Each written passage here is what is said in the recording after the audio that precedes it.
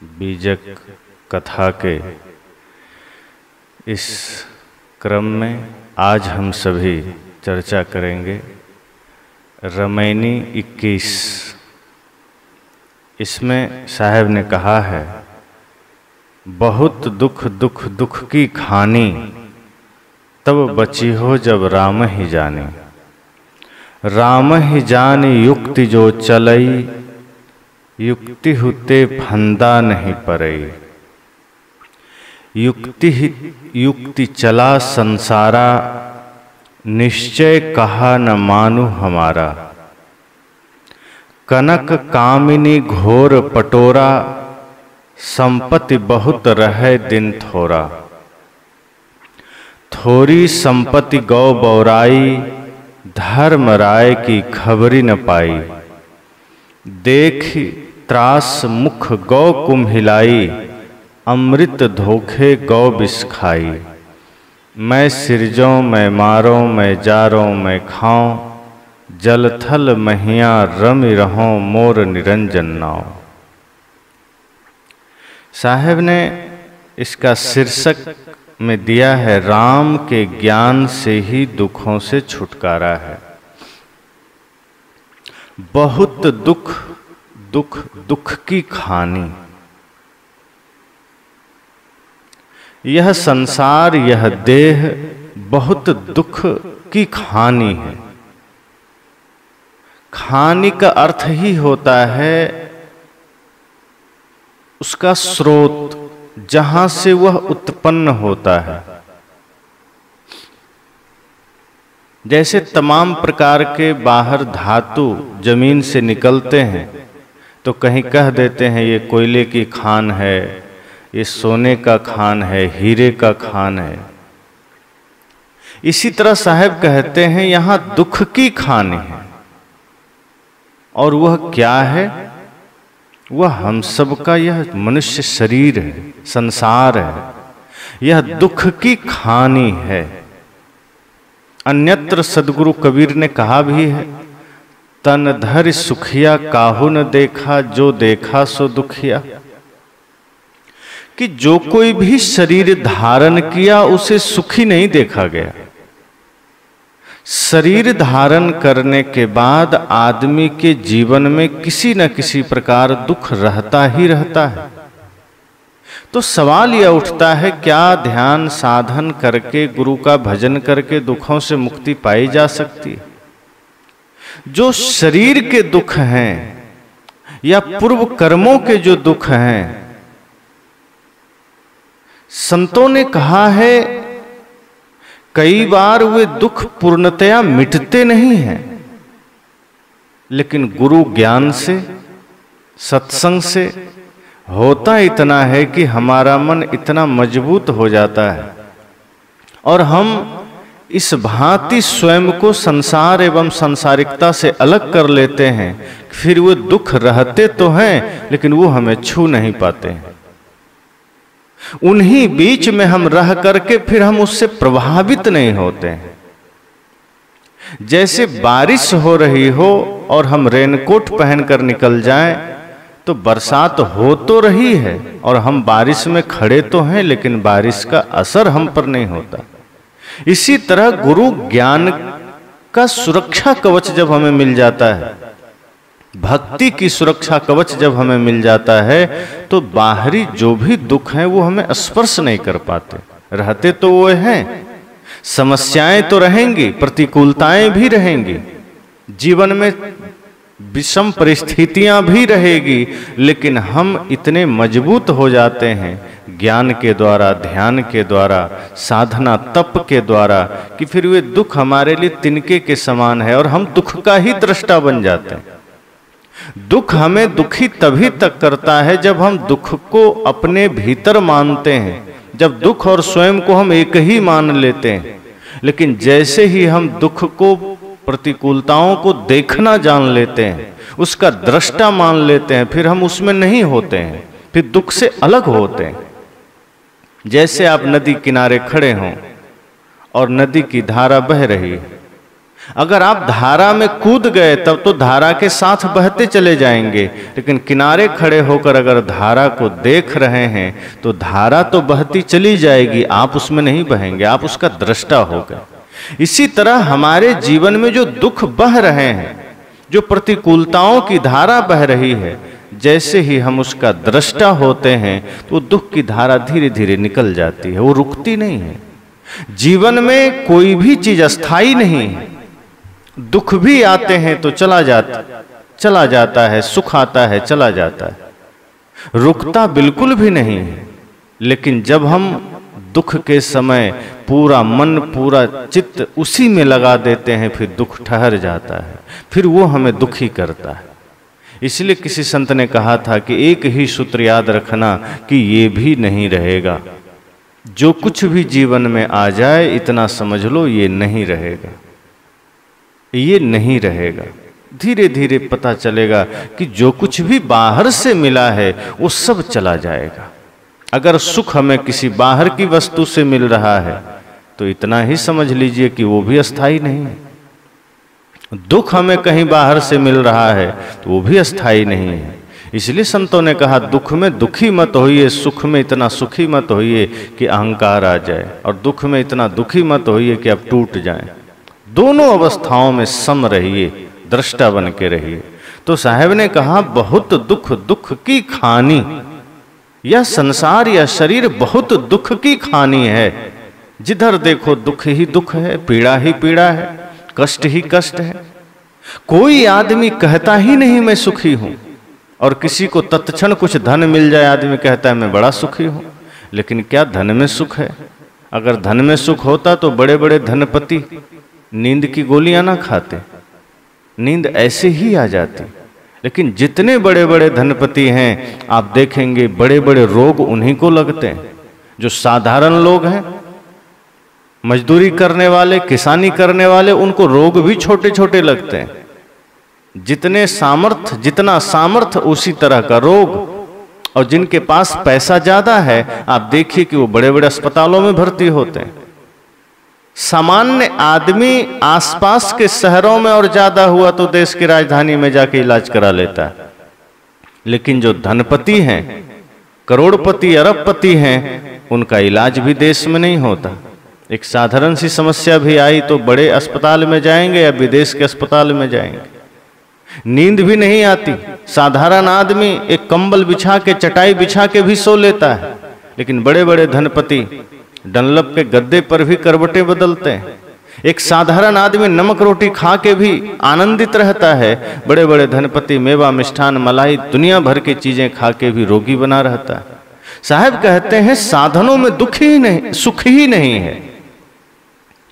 साधनों में सुख बिल्कुल भी नहीं है। अगर आप संसार के साधन की ओर जाएँगे तो आपको पता चलेगा कि कदम कदम पर दुख है। वहाँ कोई शांति, कोई संतोष नहीं। जितने साधन आप इकट्ठे करते चले जाए, आपको लगेगा थोड़ा और इकट्ठा कर ले। साधनों में तृप्ति भी नहीं है, सुख भी नहीं है, संतोष भी नहीं है। अगर आपने एक घर बना लिया तो अब मन में होगा, गाँव में तो बना लिया, अब थोड़ा शहर में बन जाए तो अच्छा होता। पास के शहर में आपने बना लिया तो मन में होगा कि थोड़ा राज्य की राजधानी में भी हो जाए तो कितना अच्छा हो। और फिर तृष्णा यहीं थोड़े रुकती है। राज्य की राजधानी से फिर देश की राजधानी। और तमाम बड़े बड़े शहरों में और इतना कहीं हो गया तो विदेश में फ्लैट खरीदने की बात आ जाती। पैदल चलते थे, मन हुआ, एक साइकिल आ जाए, कितना अच्छा हो। पर मन और तृष्णा साइकिल पर ही कहाँ रुकती? साइकिल खरीदा तो मन हुआ, मोटरसाइकिल आ जाए। मोटरसाइकिल खरीदे तो कार, और कार में भी अब हाई क्वालिटी की कार।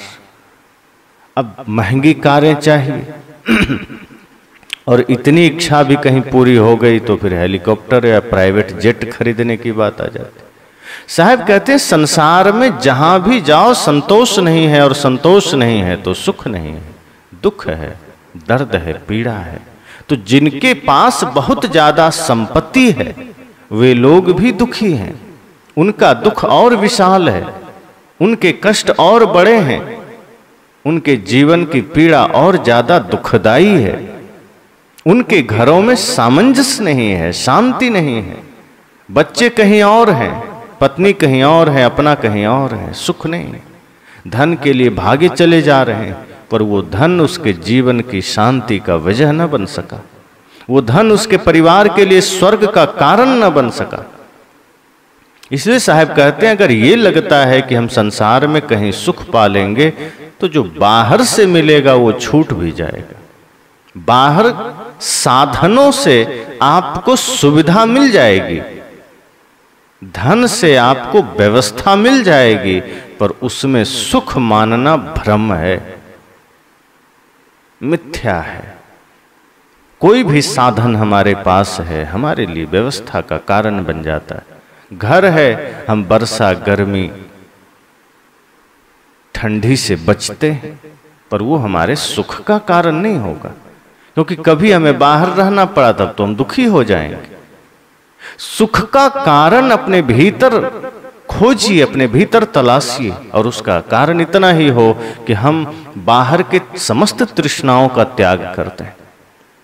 बाहर के समस्त इच्छाओं का त्याग कर दें, कामनाओं का त्याग कर दें, और जब भीतर संतोष में स्थित हो जाएँ, तृप्ति में स्थित हो जाएँ तो धूप में खड़े होंगे तो भी सुखी होंगे, छाया में होंगे तो भी सुखी होंगे। अभी ऐसा है कि धूप मिल जाए तो तुरंत आदमी परेशान होने लगता है। छाया मिल गया तो तुरंत शांति मिल जाती। साहब कहते हैं, तकलीफें तो मिलेगी संसार में। अब बहुत गर्मी है, तकलीफें होंगी, लेकिन इतना भी हाय हाय ना करो कि पूरी दुनिया जान जाए कि ये आदमी बहुत पीड़ित है। अपनी व्यक्तिगत कोई उपयोग करना है, कोई व्यवस्था करनी है, कर लीजिए। पर इस तरह से नहीं। अब शरीर में कोई रोग आ गया, तुरंत हाय हाय करने लगे तो क्या होगा? कोई रोग आ गया, धैर्य रखिए। शांति से देखिए, निवारण करिए। साहब कहते हैं, बाहर ऐसा ही है जगत। बहुत दुख। कहीं भी चले जाओ, कोई साधन। बढ़िया भोजन में मानते हैं, सुख है तो क्या सुख है? अब कोई समझे कि बढ़िया भोजन मिल जाए तो बड़ा सुख मिलेगा। अब एक टाइम दे दीजिए उसको, मेवा मिष्ठान, खीर, पूड़ी, सब्ज़ी। और दूसरा टाइम भी वही दे दीजिए। और तीसरे टाइम भी वही दे दीजिए। और लगातार पाँच दिन जी दिया, दे दीजिए, आदमी कहेगा, छोड़िए, बस करिए, अब कुछ नमकीन खिलाइए। उसमें सुख नहीं है। कोई कहता है, दूध दही में सुख है। लगातार पिलाते रहिए, कहीं पानी नहीं पीना है दिन भर दूध ही पीना है। आदमी कहेगा, छोड़िए, बस हो गया। बाहर किसी वस्तु में सुख नहीं है। किसी से ज़्यादा तृप्ति मिलती है, किसी से कम तृप्ति मिलती है, बस इतना ही कि कोई चीज़ हमें पसंद है तो उसको हम थोड़ा ज़्यादा देर तक उसका उपयोग कर सकते हैं, लेकिन लगातार नहीं कर सकते। संसार की वस्तुएँ हमारे लिए अस्थाई सुख प्रदान नहीं कर सकती। उसमें कहीं ना कहीं दुख है। अच्छी से अच्छी वस्तुओं का भी अगर लगातार आपको प्रयोग करने को कहा जाए तो आप दुखी हो जाएँगे। लोग कहते हैं, ये मेरा घर मैंने बड़े अरमानों से बनाया है। ये मेरा घर मैंने बड़े ही खर्च करके इसको सजाया, संवारा है। कोई कह दे, तुम्हें 24 घंटा इसी में रहना है, दरवाजे से बाहर नहीं निकलना। है सातों दिन इसी में रहना है, पूरा महीना इसी में रहना है। आदमी कहेगा, एक झोपड़ी भी ही दे दो, हम उसी में रह लेंगे। लेकिन ऐसा कैद में नहीं रह सकते। कितना बढ़िया घर हो, कितना बढ़िया कपड़ा हो। अब बहुत लाखों का कपड़ा हो और कोई कहे कि तुम्हें यही पहनना है, इसको छोड़ना ही नहीं है, चेंज ही नहीं करना है। सुख नहीं मिलेगा, दुख मिलना शुरू हो जाएगा। कोई कहे ये बहुत बढ़िया कार है, बहुत सुखी है हम। कोई कहे कार में ही बैठे रहो, उतरना नहीं है, वही दुख का कारण बन जाएगा। संसार की कोई भी वस्तु हमारे जीवन के लिए पूर्णतः सुख का कारण नहीं बन सकता। वो साधन है। उसका आप सदुपयोग करेंगे तो शांति बनी रहेगी, सुख बना रहेगा। लेकिन यदि अच्छी से अच्छी वस्तुओं का भी दुरुपयोग शुरू हो जाए, वही दुख का कारण बन जाता है। तो संसार में कहीं भी कोई भी व्यक्ति यह कह नहीं सकता कि हम इतना कुछ पा करके सुखी हैं। गरीबी है तो आदमी कहता है, अमीरी आ जाए तो हम सुखी हो जाएँगे। और जिसके पास अमीरी आ गई, वो और ज़्यादा अमीरी चाहता है। और जिसके पास थोड़ा ज़्यादा आ गई, वो और ज़्यादा चाहता है। सुख फिर भी नहीं। और इस चक्कर में आदमी धीरे धीरे बहुत आगे तक निकल जाता है। और ऐसा समय आता है जब उसके पास लगता है, अब तो बहुत कुछ कर लिया, सुख कहाँ मिला? लगा तो था कि बहुत ज़्यादा अमीरी आ जाएगी तो सुख मिलेगा। पर सुख तो कहीं दिखता ही नहीं। शांति तो कहीं दिखती नहीं है, क्योंकि धन में सुख है ही नहीं। धन हमारे जीवन की व्यवस्था का कारण बनता है। हम कहीं यात्रा करते हैं, धन उसमें सहयोगी है। शरीर को भोजन चाहिए, धन उसमें सहयोगी आवश्यकता बिल्कुल है धन की, लेकिन वो हमारा लक्ष्य नहीं है। वो हमारी मंजिल नहीं है। वो हमारा ध्येय नहीं है। वह हमारे पथ का पाथे है, संबल है। बस, हमारी यात्रा की व्यवस्था है। धन से हम कपड़े, भोजन, वस्त्र, अन्यत्र जितनी भी सुविधाएँ हम करते हैं, यहाँ वहाँ की, उस सब हम धन से कर सकते हैं। पर साहब कहते हैं, आप ये सोच लेंगे कि संसार में सुख है तो साहब ने कहा, नहीं नहीं बहुत दुख दुख की खाने। लोग आए होंगे सदगुरु कबीर के पास कि साहब, हमने घर बनाया, हमने ज़मीन खरीदी, हमने तमाम व्यवस्थाएँ की, बड़ा सुख है। साहब कहें, कहाँ सुख है? कहीं भी सुख तो नहीं है। खुद को देखो, तुम्हारा सुख क्षण में बदल जाता है। जो वस्तु तुम्हें इस पल सुख दे रही है, अगले ही पल वही वस्तु तुम्हें दुख देने लगती। किसी आदमी को पुत्र नहीं है, वो दुखी है। वो कहता है, गुरुजी, कृपा करिए, एक पुत्र हो जाए, बड़ा सुख मिलेगा। पुत्र हो गया, मान लो, थोड़ा बड़ा हुआ, और जैसे ही अवज्ञा करने लगा, गलत रास्ते पर गया, बात नहीं मानने लगा अलग रहने लगा, वही पुत्र अब दुख का कारण बन गया। जिसके बिना आप दुखी थे, आज उसके होने पर आप दुखी हैं। जिसके आने से आपको लगता था सुख मिलेगा, अब वही आपके दुख का कारण बन गया है। जिस परिवार को आप सुख का कारण मानते थे समय समय पर वही दुख का कारण बन जाता है। लगता था पत्नी में सुख मिलेगा। लेकिन जैसे ही पत्नी आ गई, अब वही दुख का कारण है। अब उसी से छुटकारा पाना चाहते हैं। अब उसी से मुक्ति पाना चाहते हैं। मन ही मन सोचते हैं, किस मन उस घड़ी में हम साथ हुए? अच्छा होता साथ ना होते, ऐसे ही रहते।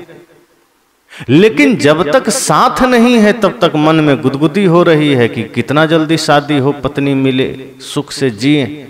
लेकिन मिलते ही लगता है, क्या कर लिया?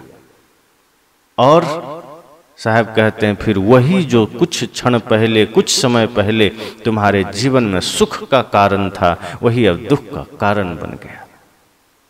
संसार की वस्तुएँ कब तुम्हारे सुख का कारण से दुख का कारण बन जाए, कोई नहीं जानता।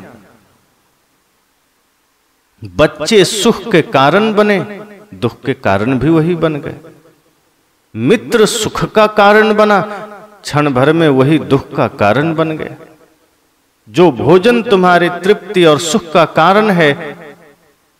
अब मान लीजिए कोई आदमी भोजन दो दिन से नहीं किया। अब उसे कहा जाए कि तुम्हें और कुछ ध्यान है? वो कहेगा, नहीं, मुझे भोजन के सिवा कुछ भी ध्यान नहीं। मैं कुछ भी कर रहा हूँ, मुझे चारों ओर भोजन ही दिख रहा है। मैं चाँद को भी देख, देखता हूँ तो उसमें रोटी नज़र आती। मैं कहीं भी नज़र डालता हूँ, मुझे होटल नज़र आ रहे हैं, भोजन नज़र आ रहा है। आप एक चीज़ गौर करिए, जब आप दो तीन दिन के भूखे हों तो आप जिधर नज़र डालेंगे, आपको कहीं ना कहीं भोजन का ही ख्याल आएगा। लेकिन उस आदमी को भोजन दिया जाए और कहा जाए कि जब तक हम ना रुके, तुम्हें भोजन करते जाना है। दो रोटी, चार रोटी, बीस रोटी, सौ रोटी आगे धर दे तुमको सब खाना है और ज़बरदस्ती मुँह में ठूंसते चला जाए, वही भोजन उसके दुख का कारण बन जाएगा। जो भोजन में सुख नज़र आ रहा था, वो अधिक मिल गया तो और अधिक सुख मिलना चाहिए। मान लीजिए चार रोटी में पेट भर गया, सुख मिला, उसी को चालीस रोटी ठूस दिया मुँह में तो और ज़्यादा सुख मिलना चाहिए। नहीं मिलता है, दुख मिल जाता है। संसार की वस्तुएँ ऐसी ही है। आपको लगता है यह सुख का कारण है, पर होना तो यह चाहिए कि अगर एक में इतना सुख मिला तो एक लाख में तो और ज़्यादा सुख मिले। पर वो जितना आप उसको बढ़ाते जाएँगे, दुख उतना गुना बढ़ता जाएगा। पर जीवन में प्रेम हो तो अगर थोड़ा प्रेम है तो थोड़ा सुख है, अनंत प्रेम है तो अनंत सुख है, उसमें दुख नहीं आता। जीवन में सत्य है तो अगर अभी हमने थोड़ा सा सत्य जाना है तो थोड़ा सुख है, परम सत्य को जान लिया तो परम सुख मिल जाएगा।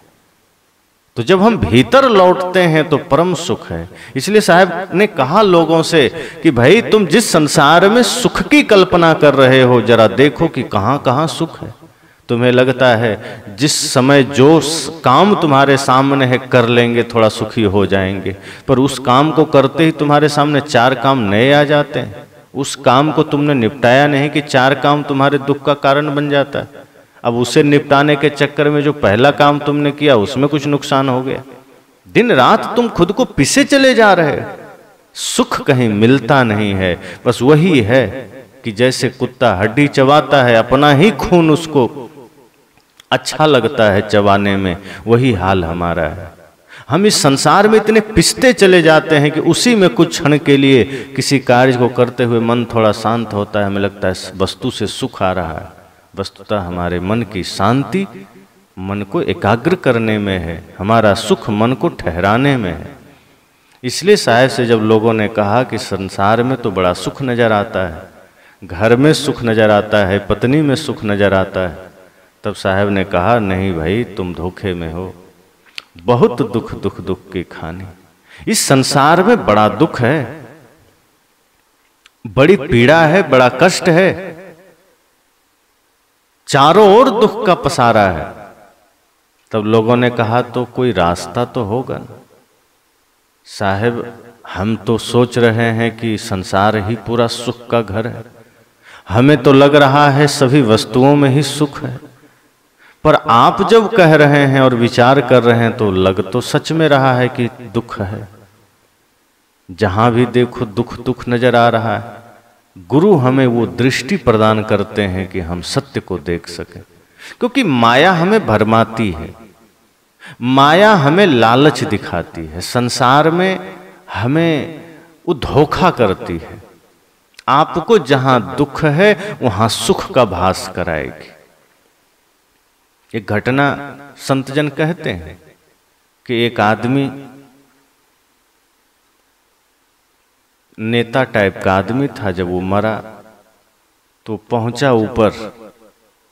तो यमदूतों ने कहा कि तुम कहाँ जाना चाहोगे? वो कहा, बढ़िया जगह ले चलो। कहा, ठीक है, स्वर्ग या नरक?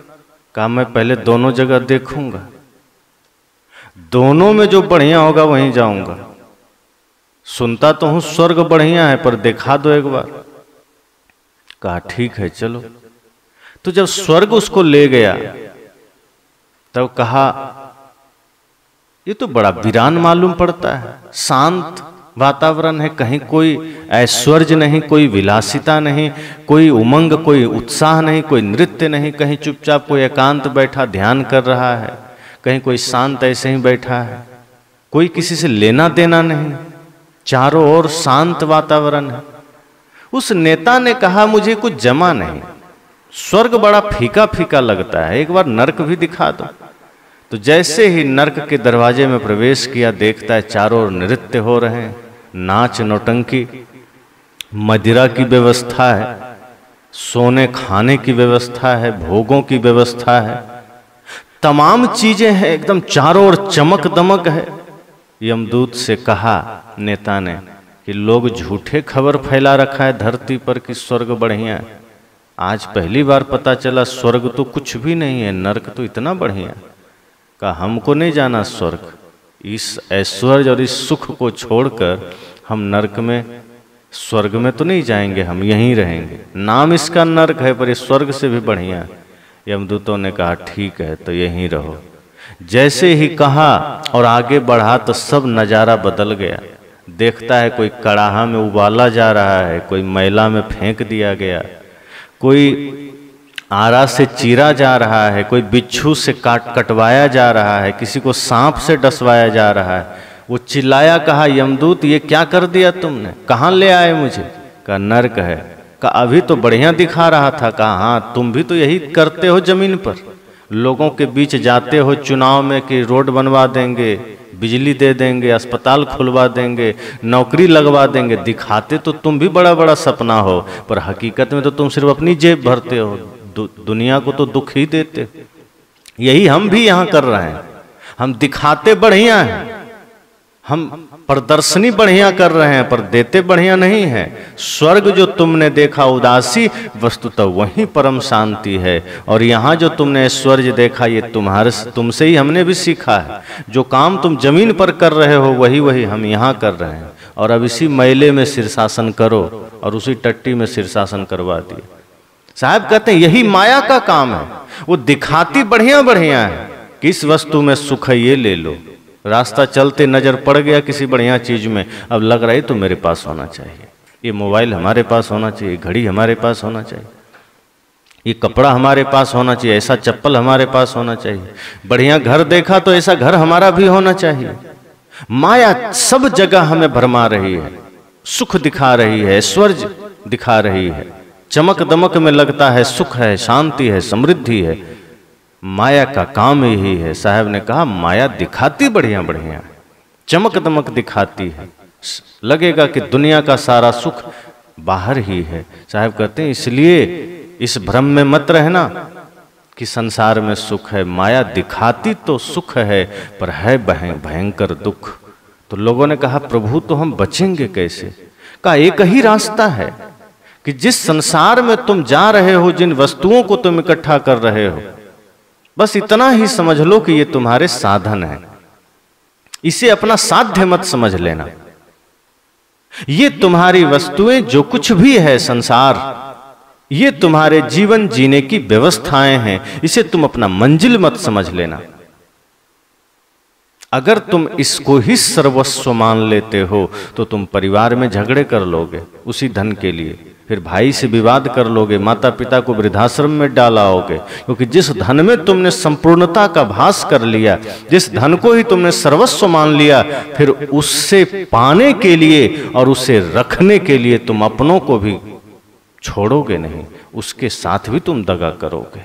लेकिन जिस दिन तुम्हें यह आभास हो जाए कि ये धन केवल तन गुजर के वास्ते है ये सिर्फ़ तन की व्यवस्था के लिए है, फिर उस धन के लिए तुम अपने भाई से विरोध नहीं करोगे। पता चल जाए कि बाहर का सब कुछ सिर्फ़ तुम्हारे व्यवस्था के लिए है, फिर तुम किसी से विवाद नहीं करोगे, झगड़ा नहीं करोगे। इसलिए पहली बात तो ये आभास करना होगा। अगर संसार के दुखों से बचना है, अगर संसार की पीड़ा से बचना है तो सबसे पहले तो यह सोचना होगा कि यह धन, या संसार की व्यवस्थाएँ, ये संसार की चीज़ें हमारी व्यवस्था के लिए है, हमारे यात्रा के लिए है। और दूसरी बात, साहब ने कहा, तब बची हो जब राम ही जाने, तब बचोगे जब राम को जानोगे। तो लोगों ने कहा, राम को, कौन से राम को? साहब ने कहा, मेरा राम चेतन राम है, स्वरूप राम है। मेरा वह राम है जो श्री राम के भीतर भी बैठा है। आत्मा रूपी राम। क्योंकि बाहर किसी राम को जानोगे तो उनको भी बिछुड़ना पड़ेगा। उनसे भी तुम मुक्त होगे, बाहर कुछ भी स्थिर नहीं। बाहर तुम जिसे भी जानोगे, वह सब बिछुड़ेगा, छूटेगा। बाहर जिसे भी तुम सुख का आधार मानोगे, वह आधार गिरेगा। वह आधार बिखरेगा। अगर तुम सौंदर्य को सुख का आधार मानते हो तो सौंदर्य अस्थाई तो नहीं जवानी है, बचपना है, जवानी है तो सौंदर्य है। जैसे ही बुढ़ापा उतरेगी, सौंदर्य खो जाएगा तो सुख तो खो गया। तुम धन को सुख का आधार मानोगे, आज धन है कल भी रहेगा, कोई गारंटी तो नहीं। धन खोया मतलब सुख खोया। अगर तुम घर को सुख का आधार मानोगे, आज तुम्हारा घर है, कल भूकंप में, ज़मीन में चला गया, घर खो गया तो सुख खो गया। पत्नी को सुख का आधार मानोगे तो पत्नी आज है, कल संग छूट जाए तो सुख खो गया। साहब कहते हैं, बाहर चाहे तुम किसी वस्तु को सुख का आधार आधार मानो, चाहे राम को ही मानो, छूट जाएगा। बाहर जो कुछ भी है वह जड़ है, दृश्य है, और वह छूटेगा। इसलिए साहब कहते हैं, मैं उस राम की बात नहीं कर रहा, जो श्री राम अयोध्या में हुए, क्योंकि वो अब हमारे बीच नहीं है, उनका भी शरीर खो गया। शरीर सबका माया है, प्रकृति है, जड़ है, सबका खो जाता है। मैं तो उस राम की बात कर रहा हूँ जो उस श्री राम के भीतर भी मौजूद है, चेतन राम, आत्मा रूपी राम। उसे जब जान लोगे, अर्थात खुद को जान लोगे तो दुख से बच जाओगे। अभी हम संसार को जानते हैं, दुनिया को जानते हैं, वस्तुओं को जानने में लगे हैं, ग्रह को जानने में लगे हैं, तारों को जानने में लगे हैं, अंतरिक्ष को जानने में लगे हैं समुद्र को जानने में लगे। संसार यही तो कर रहा है। बड़ी से बड़ी पढ़ाइयाँ किसके लिए है? संसार को जानने के लिए। पर उतनी बड़ी पढ़ाई के बाद भी कोई आदमी शांत क्यों नहीं हो पाता? क्योंकि उसने सिर्फ़ संसार को जाना है। लेकिन जो संत हैं, तपस्वी हैं, वो स्वयं को जानते हैं। बाहर जो कुछ भी जानोगे, साहब कहते हैं, वह तो बाहर तुम्हें संसार से जोड़ेगा, माया से जोड़ेगा, और उसका कोई विशेष अर्थ नहीं है। तुम संसार को ही तो जानोगे, जो तुमसे छूटने वाला है। तुम उसे ही तो जानोगे जिससे तुम बिछुड़ने वाले हो। पर जिस दिन तुमने स्वयं को जान लिया, मैं को जान लिया तो समझ लो तुम खुद में स्थित हो गए, फिर कभी बिछड़ोगे नहीं। अर्थात जिसे खुद का आभास हो गया, खुद के होने का साहब कहते हैं, फिर बाहर उससे कोई भी चीज़ दुख नहीं दे सकता। अभी हम खुद को ही भूले बैठे हैं। अभी हमें खुद की ही विस्मृति हो गई है। और जब खुद की विस्मृति हो जाए तो हम संसार में दर बदर भटकते हैं। बाहर परमात्मा के लिए, भगवान के लिए, सुख के लिए, शांति के लिए साहब कहते हैं, खुद को याद करो, खुद को जानो, स्वयं को जानो, आत्मा राम को जानो। ये खोया नहीं है, ये विस्मृत हो गया है। जैसे कई बार सबका अनुभव होगा। हाथ में कलम है और आदमी घंटा परेशान है, एक घंटा से कलम कहाँ रख दिया, कहाँ रख दिया। बाद में ध्यान आ रहे हाथ में ही तो है। कई बार घड़ी हाथ में है, वो आदमी पूरा बिस्तर उलट दिया, अलमारी खोज लिया, कुर्ता से ढका है, पता नहीं चल रहा है घड़ी कहाँ। बाद में ध्यान आया, घड़ी तो हाथ में कई बार लोग चश्मा पहने रखते हैं ना, और उठा के इस पर कर लेते हैं। अब वो खोज रहा है, मेरा चश्मा कहाँ गया? अब चश्मा कहीं और हो तो मिले। बाहर होगा तभी तो मिलेगा। वो खुद के ही सिर पर है, पर विस्मृति हो गई है। इसलिए वो बाहर खोज रहा है। जब आभास होता है, जागृति आती है, होश आता है तो पता चलता है सिर पर ही था। बस जानना था, समझना था, जागना था।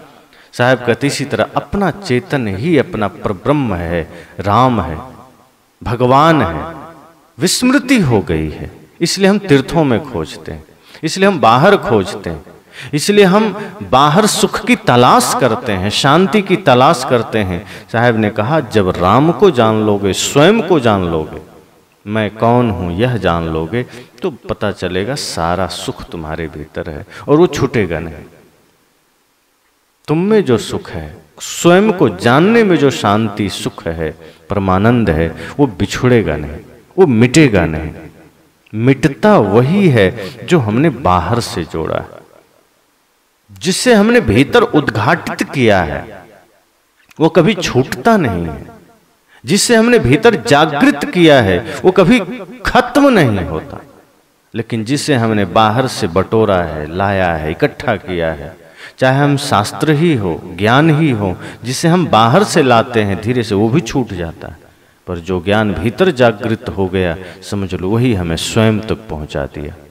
उसी में आत्मानंद है आत्म तृप्ति जैसे टंकी में पानी भरा गया तो टंकी में पानी बाहर से भरा गया, उसकी अपनी उत्पत्ति नहीं है। टंकी में खुद वो पानी पैदा नहीं हुआ, वो बाहर से भरा गया। और जो बाहर से भरा जाता है, वो खाली भी हो जाता है, फिर फिर भरना पड़ता है। एक लीटर भी पानी निकल गया तो टंकी में एक लीटर पानी कम हो गया। उसका अपना नहीं है, उसने बाहर से लाया है। पर कुआँ में, बोर में, अगर एक लीटर नहीं, एक हज़ार लीटर भी रोज निकाला जाए, उसमें कम नहीं पड़ता है, कहीं से डालना नहीं पड़ता है।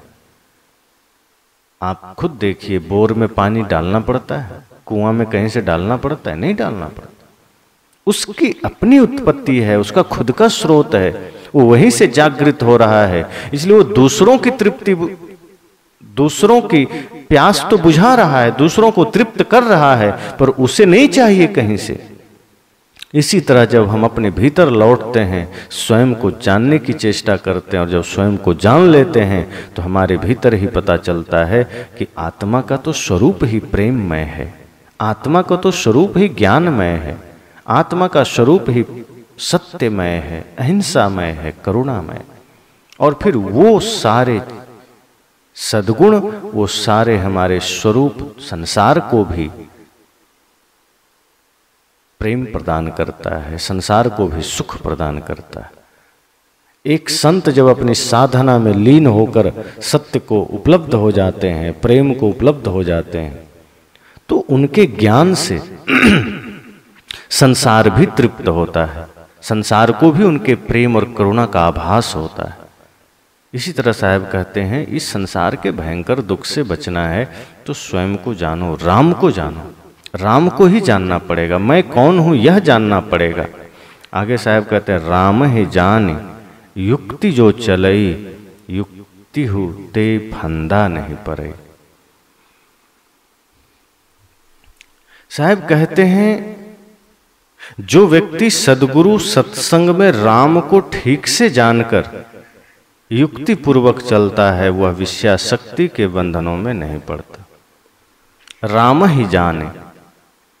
लोगों ने कहा, जाने कैसे? साहब ने कहा कि गुरु संत के सानिध्य में आओ, ध्यान के द्वारा, ज्ञान के द्वारा, गुरु के वचनों के द्वारा उस राम को जानो। और जो राम को जान लेता है, उसका जीवन फिर युक्ति पूर्वक चलता है विचार पूर्वक चलता है, सम्यक यात्रा, व्यवस्थित यात्रा। फिर वह कहीं विषया शक्ति में नहीं पड़ता। फिर वह कभी बंधन में नहीं पड़ता है, फिर संसार के बंधन उसे पकड़ नहीं सकते। संसार के बंधन उसे काट नहीं सकते, उसे फंसा नहीं सकते। युक्ते ते फंदा नहीं पड़े। जब हम राम को जान लेते हैं गुरु संतों की कृपा से, सत्संग में आने के बाद, धीरे धीरे धीरे धीरे ध्यान और साधना के द्वारा, तप के द्वारा, जब हम अपने स्वरूप राम को जान लेते हैं, आत्मा राम को जान लेते हैं तो साहब कहते हैं, फिर हमारा जीवन व्यवस्थित हो जाता है। फिर हमारा बोलना, हमारा चलना, हमारा सुनना, हमारा देखना, सब व्यवस्थित हो जाता है। और जब हम युक्ति पूर्वक चलने लगते हैं विचार पूर्वक चलने लगते हैं सही पूर्वक चलने लगते हैं तो फिर फंदा नहीं पड़ेगी। फिर ये जो वासना का फंदा है, विषयाशक्ति का फंदा है, बाहर संसार का फंदा, अविद्या का, माया का, वो नहीं पड़ता है।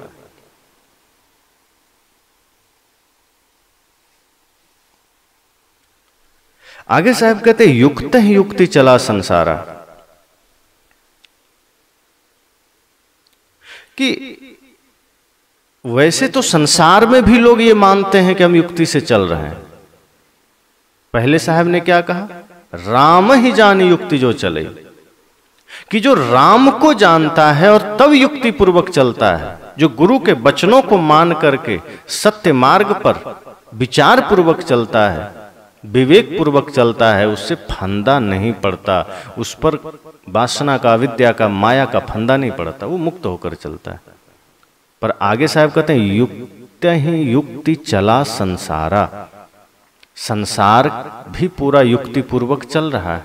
सब कुछ बढ़िया से आदमी सोच रहा है, हम कर रहे हैं। सारे साधन ठीक से कर रहे हैं। पर क्या संसार में लोग सुखी हैं? संसार में भी तो लोग सोचता है, मैं सब सही कर रहा हूँ। युक्ति पूर्वक चल रहा हूँ। व्यवस्था पूर्वक चल रहा हूँ। साहब ने पहले ही कहा, संसार में तुम कितनी भी व्यवस्था पैदा कर लो, संसार में कितना भी विचार पूर्वक चल लो, पर संसार के साधन तुम्हारे सुख का कारण नहीं बनेंगे। वो दुख का ही कारण बनेंगे।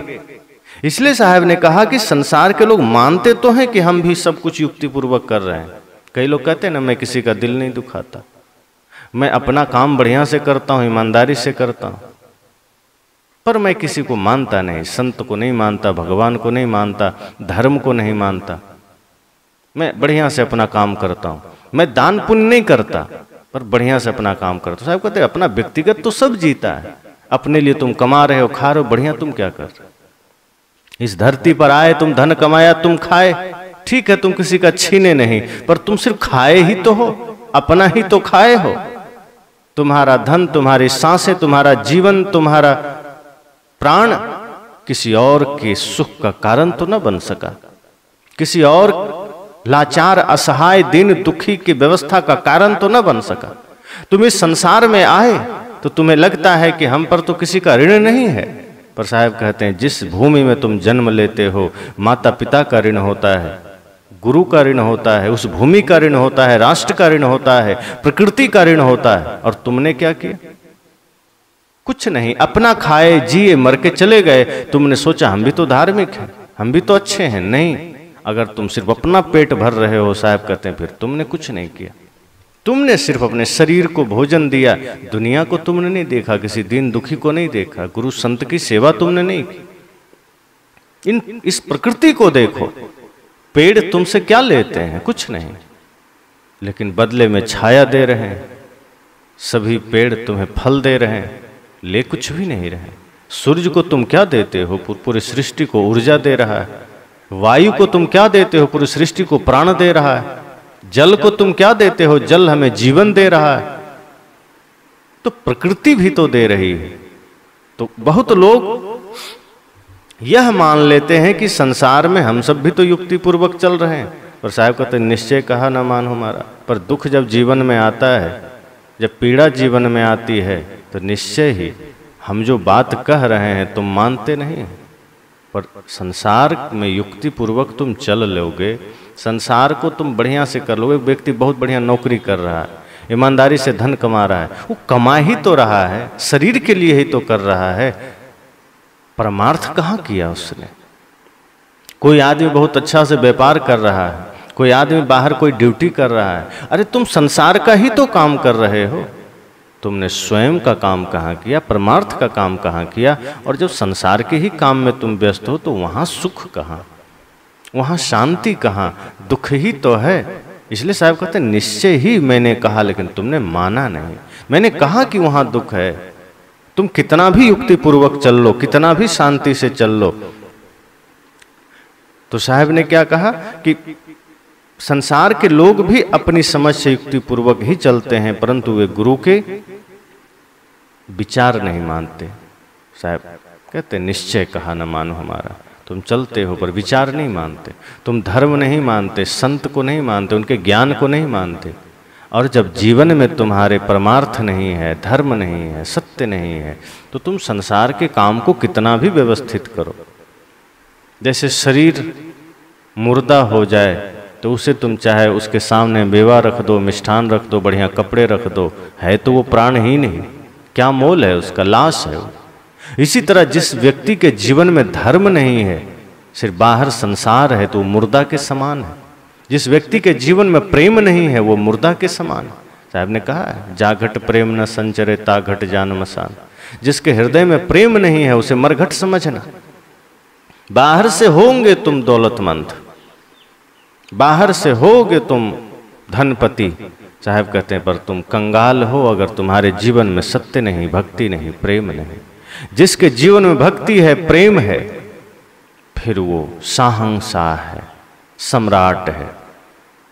तो इसलिए साहब ने कहा कि संसार भी युक्ति पूर्वक चल रहा है। संसार के लोग कहते हैं कि हम भी संसार के सारे काम बढ़िया व्यवस्थित कर रहे हैं। लेकिन साहब कहते उसमें तुम गुरु के वचन नहीं मानते, इसलिए वहाँ तुम्हें दुख मिलता है और दुख ही है। और वो दुख किस तरह से मिलता है? संसार के कार्यों में हम किस तरह से लीन हैं और क्या कर रहे हैं? कोई कहे, कोई चोर कहे कि हम भी तो ईमानदारी से चोरी करते हैं, रात भर मेहनत करते हैं एक घर में कुछ चुराते हैं, दो आदमी गए, आपस में ईमानदारी से बांटते हैं। हम भी तो बढ़िया से चोरी कर रहे हैं। तो क्या वो धर्म हो जाएगा? कोई चोर कहे, मैं चोरी बढ़िया से कर रहा हूँ। कोई शराबी कहे, मैं भी तो ईमानदारी से शराब पी रहा हूँ। कोई व्यभिचारी कहे, हम भी तो ईमानदारी से व्यभिचार कर रहे हैं। साहब कहते हैं, वहाँ तुम सुख की तलाश कर रहे हो। वहाँ तुम धर्म की बात सोच रहे हो। वहाँ तुम शांति नहीं, तुम काम ही गलत कर रहे हो और गलत काम कितना भी व्यवस्थित किया जाए, गलत काम कितना भी युक्ति पूर्वक किया जाए, कोई कहे, हम भी तो मांस खाते हैं, बढ़िया से खाते हैं, व्यवस्थित होकर खाते हैं, विचार करके खाते हैं, अपने से नहीं मारते हैं, मरा हुआ जानवर लेके आते हैं, उसी को बढ़िया से पका के खाते हैं। तो तुम हत्या ही तो कर रहे हो, कोई पुण्य थोड़े कर रहे हो। पाप कर्म को कितना भी युक्ति से करो, वो पाप ही रहेगा। पाप को युक्ति पूर्वक करने से वो पुण्य नहीं हो जाएगा। इसलिए साहब ने कहा कि संसार के लोग अपने सारे कर्म को सही ठहराते हैं, उचित ठहराते हैं, पर वो गुरु की वचन नहीं मानते। गुरु क्या इशारा कर रहे हैं? वे कह रहे हैं, तुम बाहर कुछ भी कर लो, वो सब छूटने वाला कर्म है, मिटने वाला, और उसमें भी अगर तुमने पाप कर्म किया है तो फिर नरक तैयार कर लिया तुमने। इसलिए बाहर के कार्य तो तुम्हारी व्यवस्था के लिए, पर उसमें भी अगर तुमने पाप की कमाई कर ली और उसे भी तुमने युक्ति पूर्वक मान लिया तो फिर और ज़्यादा घोर नरक में जाओगे। इसलिए गुरु की बात मानो, स्वयं को जानने की चेष्टा करो, परमार्थ के पथ पर चलो। और नहीं तो तुम्हें लगेगा कि हम तो संसार में सब कुछ अच्छा कर रहे हैं, पर साहब कहते तुम कर क्या रहे हमें पता है। कनक, कामिनी, घोर, पटोरा, संपत्ति बहुत रहे दिन थोड़ा यही तुम कर रहे हो? कि कनक, कामनी, घोड़ा आदि, वाहन, रेशमी वस्त्र आदि संपत्ति चाहे जितने बटोर लें, किंतु संसार में रहना तो बहुत थोड़े दिन का है। साहब कहते, तुम संसार में कर क्या रहे हो? धन इकट्ठा कर रहे हो, कनक अर्थात सोना। सोना मतलब धन। तुम धन इकट्ठा कर रहे हो। कामिनी, अर्थात जैसे ही व्यक्ति पढ़ लिख कर थोड़ा जवान हुआ, शादी की बात सोचता है, स्त्री के पीछे जाता है। और कुछ लोग ऐसे भी हैं, बल्कि अधिकांश लोग ऐसे हैं कि अगर शादी हो गई, एक स्त्री मिल गई तो दूसरे दो चार में मन जा रहा है। नित्य नित्य जहाँ भी देखा मन में स्त्री के प्रति कामना जग रही साहब कहते, तुम यही तो कर रहे हो संसार में? धन के पीछे भाग रहे, स्त्री के पीछे भाग रहे और घोड़ा आदि वाहन की इकट्ठा कर रहे। जब साहेब का समय था, जिस काल में सदगुरु हुए हैं, उस समय घोड़े हाथी का प्रचलन ज़्यादा था। लोग घोड़ा पर चलते थे, हाथी पर चलते थे, रथों पर चलते थे या बहुत हुआ तो बैलगाड़ी पर चलते थे। बैलगाड़ी, सामान्य लोग भी उस समय अगर रखते थे तो उनके लिए जैसे आज कोई अपने दरवाजे पर स्कॉर्पियो रखता हो, उस समय किसी के पास बैलगाड़ी हो तो उसको बड़ा धनपति समझा जाता था कि दरवाजे पर बैलगाड़ी, वाह, क्या बात है, बैलगाड़ी से आ रहा है। पर आज कोई बैलगाड़ी से आए तो लोग मज़ाक बना देते हैं। तो आज जैसे किसी के दरवाजे पर स्कॉर्पियो आदि खड़ी हो उस समय किसी के दरवाजे पर बैलगाड़ी खड़ी हो, इतना ही समझना। और आज जैसी किसी के दरवाजे पर फॉर्चूनर हो, बीएमडब्ल्यू के कारें हो, उसी तरह से उस समय किसी के दरवाजे पर रथ खड़ा हो तो आदमी समझा जाता था कि इसके दरवाजे पर तो फॉर्चूनर खड़ी। तो यही अंतर था। साहब ने कहा कि तुमने धन को बटोरा, स्त्री के पीछे तुम भागे, साधन इकट्ठा किए, वाहन इकट्ठा किए संसार में तुम करते क्या हो? धन के पीछे जा रहे तुम्हारी सारी पढ़ाई, तुम्हारी सारी मेहनत इसी में है कि कैसे हम धन इकट्ठा कर ले। सिर्फ़ धन इकट्ठा करने में। स्त्री, धन और वाहन, ये कुछ चीज़ें तुम बटोर रहे हो। तो लोगों ने कहा, साहब तो इसकी ज़रूरत भी तो है। कहा, पर तुम्हारा तो पूरा लक्ष्य ही यही हो गया। धन ही तुमने लक्ष्य बना लिया। स्त्री ही तुम्हारा लक्ष्य हो गई। और ये तमाम तरह के वाहन व्यवस्थाएँ तुम्हारा लक्ष्य हो गए। इसके अतिरिक्त तुमने सोचा क्या? क्या ये साथ जाएँगे? जरा सोचो। जो धन तुम बटोर रहे हो, जब प्राण निकलेंगे तो क्या धन साथ जाएँगे? लोगों ने कहा, नहीं जाएगा। का स्त्री साथ जाएगी? का बिल्कुल नहीं। फिर तुम उसी के पीछे पड़े हो। ये तुम्हारे तमाम साधन साथ जाएँगे। कहा, नहीं। तो साहब ने कहा, संपत्ति बहुत रहे दिन थोड़ा। संपत्ति तो बहुत इकट्ठा किया तुमने, पर ये रहेगा थोड़े दिन तक। साथ तुम्हारा थोड़ा ही देगा। वो धन तुमने नहीं कमाया जो साथ दे सकता था। ये धन तुम्हारे शरीर के लिए है, और जब शरीर ही नहीं रहेगा तो ये धन कहाँ रहेगा? इसलिए उस धन की कमाई तुमने नहीं की जो साथ जा सकता था। इसलिए साहब ने कहा, संपत्ति बहुत रहे दिन थोड़ा। तुमने संपत्ति बहुत इकट्ठा किया, पर रहोगे थोड़ा ही। ये रहेगी संपत्ति पास में थोड़े।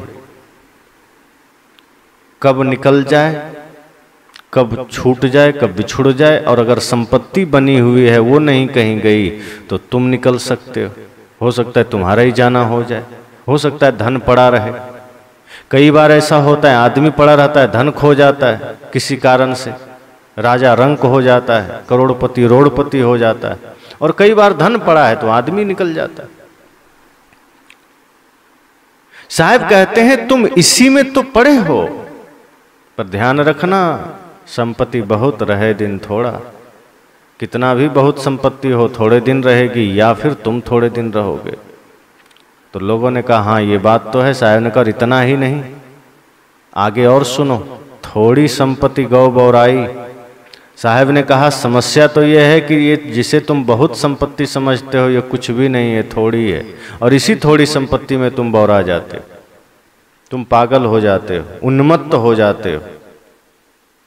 तुम्हें लगता है कि सब कुछ मिल गया। सोना, चांदी, हीरा तुम्हारे पास आ जाए तो तुम बौरा जाते हो, थोड़ी संपत्ति गौ बौराई।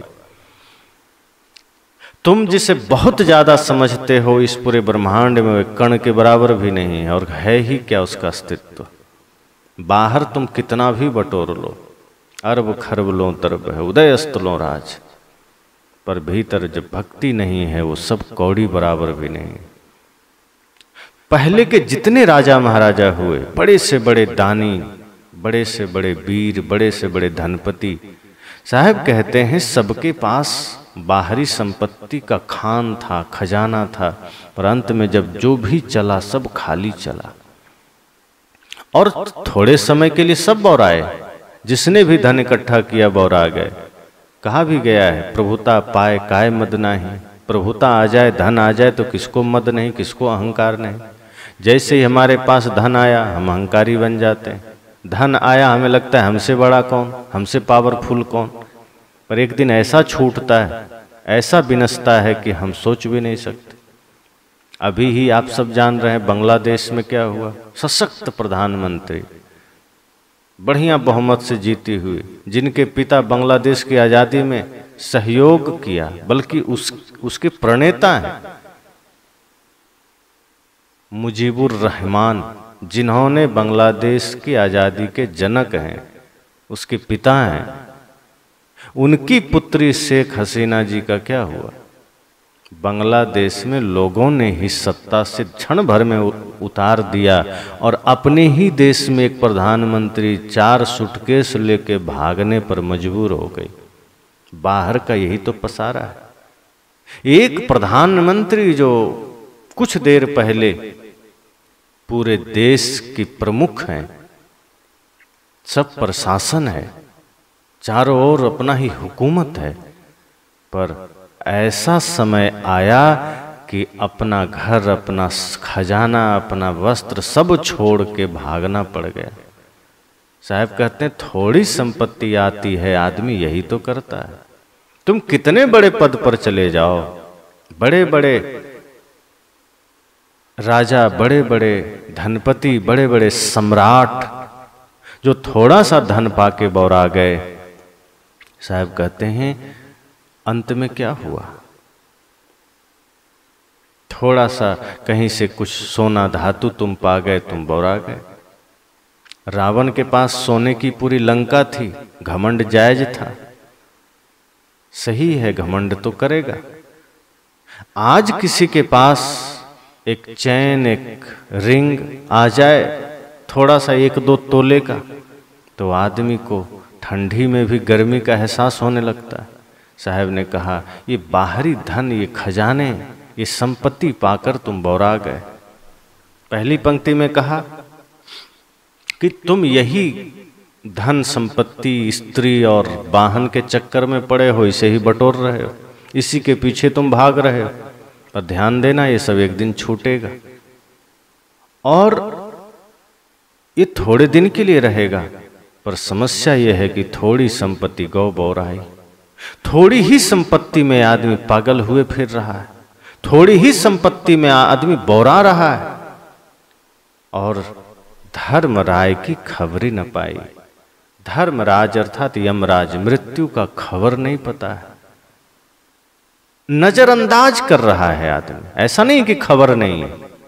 खबरें तो आ रही है। सूचनाएँ आती है धर्मराज की, यमराज की। जैसे आम संसार में यह देखा जाता है कि कोई आदमी पर कोई मुकदमा हो जाए तो कोर्ट से वारंट आता है। एक, दो, तीन जिसमें आया। अगर एक, दो को नज़रअंदाज किया तो फिर और नन वेलेबल वारंट इशू हो जाता है। तो ये सारी समस्याएँ संसार की है। यही मृत्यु भी करती है। आदमी नजरअंदाज कर रहा है, धर्मराय की खबर ही न पाई। ऐसा कर रहा है जैसे उसकी कोई खबर नहीं है। पर खबर आ रही है, संकेत आ रहा है, वारंट आ रहा है, सूचना आ रही है।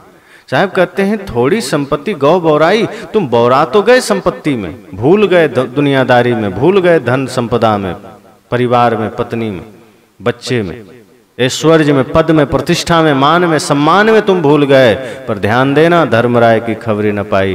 तुम खबर को नजरअंदाज कर रहे हो, पर यमराज खड़ा है। वो दूर नहीं है तुमसे। तमाम तरह के संकेत जीवन में आ रहे हैं। तमाम तरह के सूचनाएँ जीवन में आ रही है। कोई पड़ोसी गुजर गया तो हर किसी के गुजरने में, अपना गुजरने का संकेत कहाँ देख पाते हो? और सच तो यह है कि एक भी व्यक्ति गुजरा मतलब उसके गुजरने में तुम्हारा गुजरना दिखना चाहिए। और है, किसी के जाने में अपना जाना दिखना चाहिए। हर डूबते शाम में अपनी जीवन के शाम को देखो, ढलते ढलते ढल जाएगी। इस जीवन की शाम, काहे को विसारा गुरु का नाम। धीरे धीरे ढलते ढलते जीवन की शाम हो जाएगी। हर सूर्यास्त में अपने जीवन का अस्त देखो।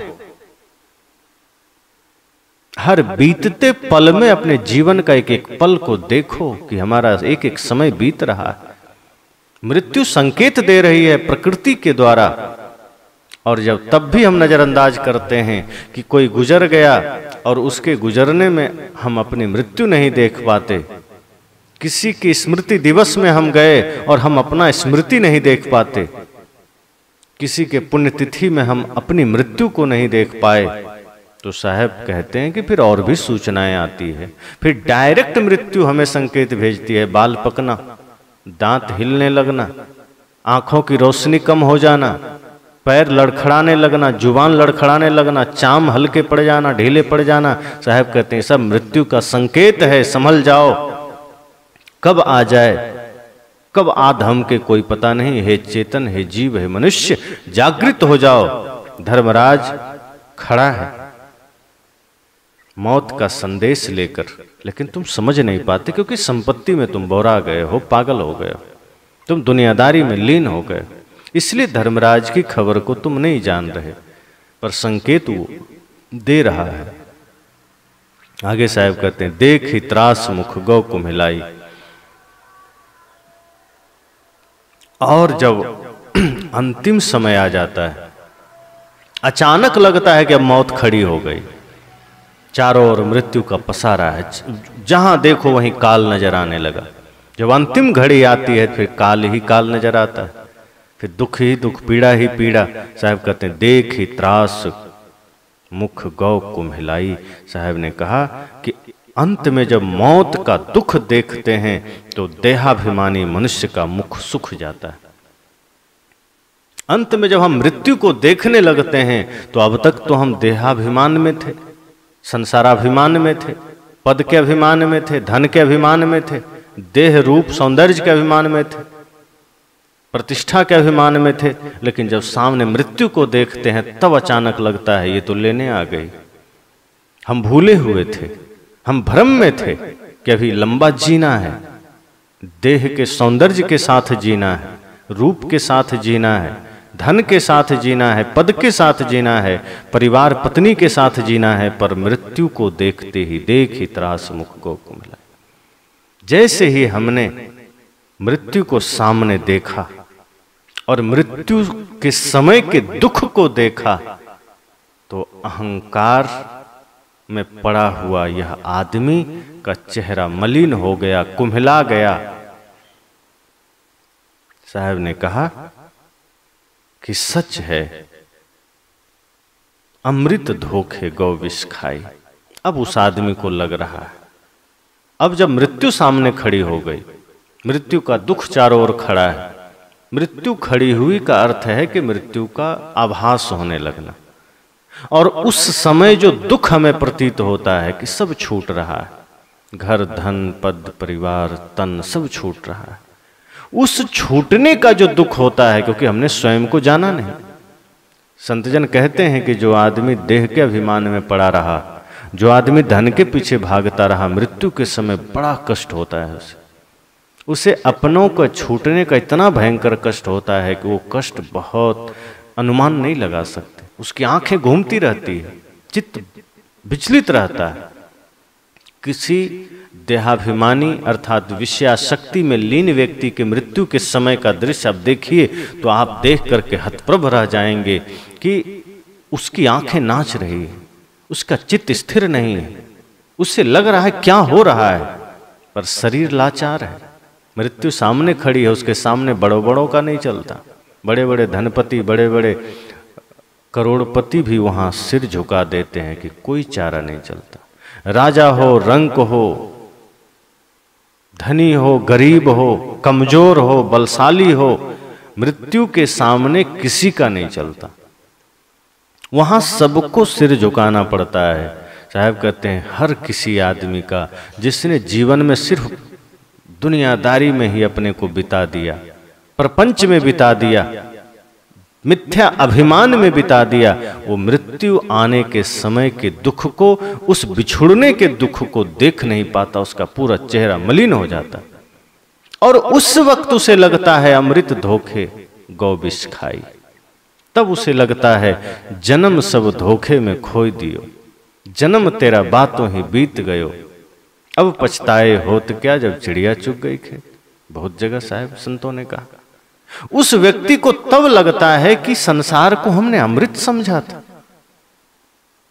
धन को हमने अमृत समझा था। अमृत मतलब जो मरेगा नहीं, जो छूटेगा नहीं। इस देह को अमृत समझा था, भोगों को अमृत समझा था, विषयों को अमृत समझा था, पर गौ विष खाई। पर अमृत के धोखे में हम तो विष खाते रहे, जहर खाते रहे। गुरु संत हमें सचेत किए, हम जागे नहीं। कितनी ऐसी सूचनाएँ हमारे जीवन में आई, कितने ऐसे संकेत हमारे जीवन में आए पर हम जागृत नहीं हो सके, हम सचेत नहीं हो सके। और हम जीवन भर विष खाते रहे, जहर पीते रहे, लगा यह सब अमृत है, पर उस अमृत के चक्कर में हम जहर खा गए, अब हम क्या करें? तो मानो संतजन जो जागृत कबीर साहब कर रहे हैं इसमें, जो हमें सचेत कर रहे हैं, जो हमें सावधान कर रहे हैं, साहब कहते हैं कि चिंता मत करो। यह जो जीव है, ये जो आत्मा है, यह मरती नहीं। तुम्हारा शरीर छूट रहा है। तुम जा रहे हो पाप कमा करके, पर यह आत्मा को अगर जान लेते, स्वयं को जान लेते तो पता चलता कि तुम्हारी तो कभी मृत्यु ही नहीं होगी। मृत्यु तो शरीर की है। तुम तो सदैव चेतन हो, चिरंतन हो, चिन्मय हो। अंत में साहब कहते हैं, मैं सिरजो, मैं मारो, मैं जारो, मैं खाऊं, जल थल महिया रमी रहो, मोर निरंजन नाव मैं सिरजो इस समस्त सृष्टि का कारण आत्मा ही तो। कोई दूसरा नहीं है। आत्मा ना हो तो सृष्टि ही ना हो। मैं सिर जो मैं मारो, मृत्यु का कारण भी आत्मा है। शरीर से आत्मा निकल गई, शरीर मर जाता है। शरीर में आत्मा है तो जीवन है, निकल गया तो मृत्यु हो गया। तो ये जीव कह रहा है, आत्मा कह रहा है कि मैं सृजाऊं मैं सृजन करता हूँ। मैं ही सृष्टि का कारक हूँ। मैं मारो, मैं निकल गया तो शरीर मर जाता है, मैं ही मार देता हूँ। मैं हूँ तो वो ज़िंदा है, मैं नहीं हूँ तो मृत्यु के गोद में चला गया। शरीर पड़ा हो, आँख, नाक, कान सब बढ़िया हो, कोई कहेगा वो ज़िंदा है? अगर आत्मा है तो वो ज़िंदा है, आत्मा निकल गई तो बढ़िया से बढ़िया शरीर, चाहे वो प्रधानमंत्री का लोग कह देता है, लाश। तो ये आत्मा कह रहा है कि मैं ही सृजन का कारण भी हूँ, मैं ही मृत्यु का कारण हूँ। मैं ही ज, जलने का कारण हूँ। मैं ही खा भी रहा हूँ। मैं भी मैं ही काल स्वरूप सबको खा भी रहा हूँ। सब कुछ का सृष्टि में कारण। विनाश का भी कारण मनुष्य है। सृजन का भी कारण मनुष्य है। समस्त साहब ने कहा ना पाप का भी कारण यह जीव है। पुण्य का भी कारण यह जीव है। धर्म का भी कारण यह जीव है। अधर्म का भी कारण यह जीव है। तो यह जीव कहता है कि मैं ही सृजन का कारण हूँ, मैं ही सृजता हूँ, सृजन करता हूँ, मैं ही मारता हूँ, मैं ही विनाश करता हूँ। जैसे कहा जाता है, ब्रह्मा सृजन करता है, विष्णु पालन करता है और शिव संहार करता है। साहब कहते हैं कि यह जीव ही समझो ब्रह्मा है, यही सृष्टि का जन्मदाता है, आत्मा है तो सृजन है। यही पालन करता है। धर्म में जीवन जीने लगा तो सृष्टि का हम पालन भी करते हैं। धर्म का पालन कर लिए, सत्य का पालन कर लिए तो अपना भी धर्म मार्ग पर है, दूसरों का भी धर्म का पालन सिखाते हैं। मैं मारो, मैं ही संसार का विनाश भी कर रहा हूँ। एक आदमी, आखिर आज जो दुनिया में इतना विनाश है, उसका कारण कौन है? मनुष्य ही। दूसरा इसका हमेशा भी समझ सकते हैं कि मैं ही तमाम बुराइयों का विनाश भी करता हूँ। मैं ही तमाम समस्याओं का विनाश भी करता हूँ। तो अच्छाई का कारण हम हैं तो बुराई का कारण भी हम जो कुछ भी हो रहा है, सब हम ही कर रहे हैं। तो किसी ने कहा, तुम हो कहाँ? तो कहा जलथल महिया रमी रहो। कहा, मुझे कहाँ कहाँ नहीं हूँ। मैं कहाँ कहाँ नहीं सब जगह हूँ। जल पर जितने भी जीव हैं, जल में सब में मैं ही हूँ सब मुझमें ही। आत्मा ही तो सब में सब में जीव ही तो है। कहा, सब में जीवन है, सब जीवन का कारण आत्मा ही है। और थल में, अर्थात ज़मीन पर जितने भी हैं, उसमें भी मैं ही जल थल महिया रमी रहो, सब में मैं हूँ। सब में आत्मा है, सबके जीवन का कारण मैं ही। मोर निरंजन ना तो लोगों ने कहा, भाई तुम हो कौन फिर? तुम्हें हम क्या कहें? तो आत्मा क्या कहती है, मैं, मेरा नाम निरंजन है, अर्थात जो देखने में नहीं आएगा। तुम देख नहीं सकते मुझे। उपनिषद में ऋषियों ने कहा ना, जिसकी सत्ता में आँखें देखती है, जिसे आँखें देख नहीं सकती है, बल्कि जिसकी सत्ता में आँखें देखती है, उसे तू ब्रह्म जान जिसे कान सुन नहीं सकते, बल्कि जिसकी सत्ता में कान सुनते हैं, उसे तू ब्रह्म जान आत्मा भी वही कह रहा है कि मुझे तुम देख नहीं पाओगे, मेरी ही सत्ता में तुम देखते हो। मुझे देखना कठिन है। संसार की आँख से आत्मा को हम कैसे देखेंगे? जरा सोचिए, रात का समय हो तो क्या हम सूरज को देख सकते हैं? है संभव? सूर्य को देखना हो तो हम सूर्य के ही प्रकाश में देख सकते हैं। चाँद के प्रकाश में सूरज को नहीं देखा जा सकता। सूर्य को देखने के लिए सूर्य का प्रकाश अर्थात दिन का होना ज़रूरी है। इसी तरह से चेतन को देखना है तो चेतन से ही देखा अनुभव किया जा सकता है। इन जड़ आँखों से कोई उपाय नहीं। हम आँखों से तो जड़ को ही देखेंगे, संसार को ही देखेंगे।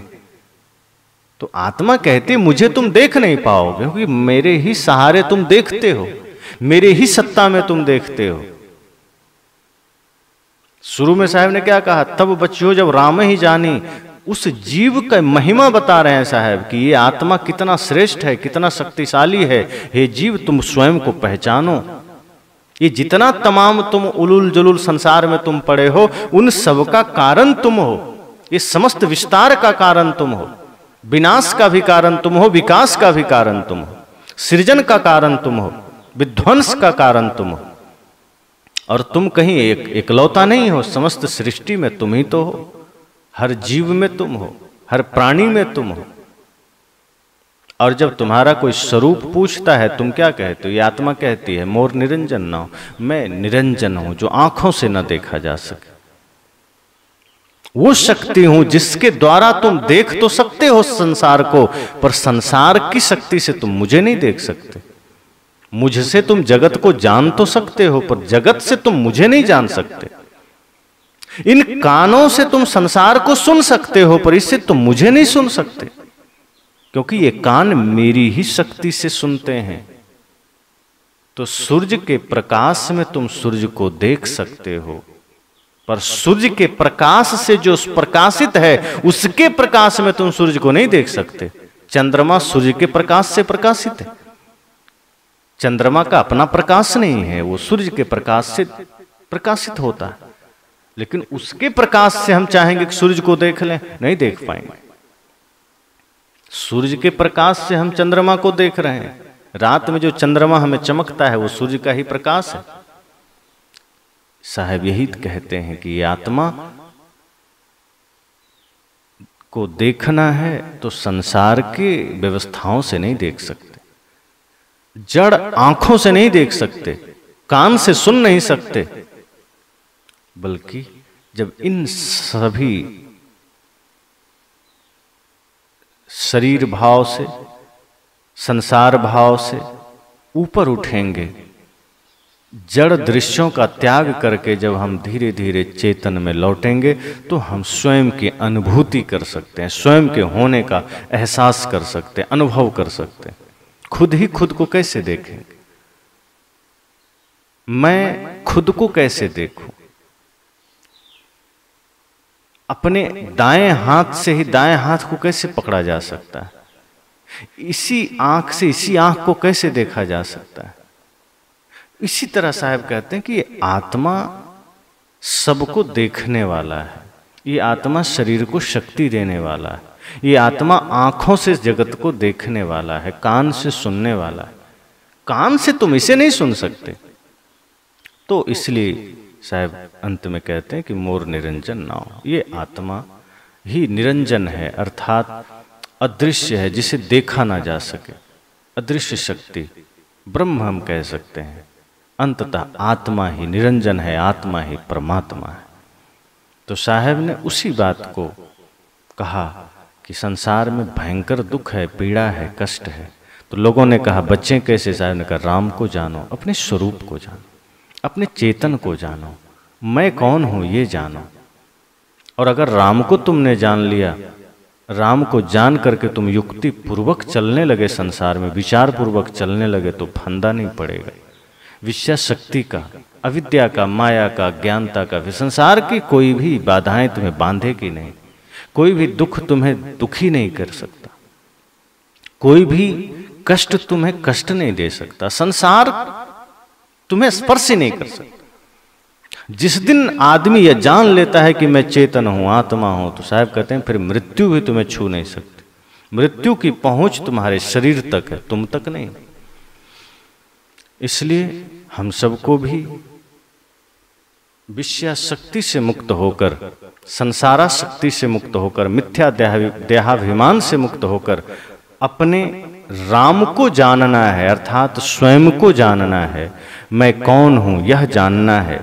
क्योंकि जब हम मैं कौन हूँ यह जान लेते हैं तो तमाम दुखों से हम छूट जाते हैं।